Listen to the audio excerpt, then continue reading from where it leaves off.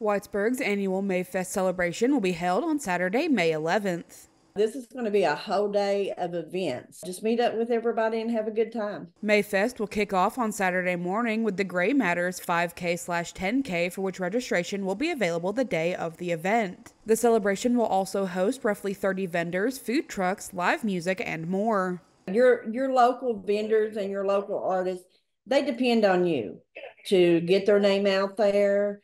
Uh, you know, some of them uh, go on to bigger and better things, and it all starts with your local vendors markets and, and things. Mayfest will begin at 4 p.m. on Saturday, May 11th in downtown Whitesburg. For more information about the event, you can visit the City of Whitesburg Facebook page.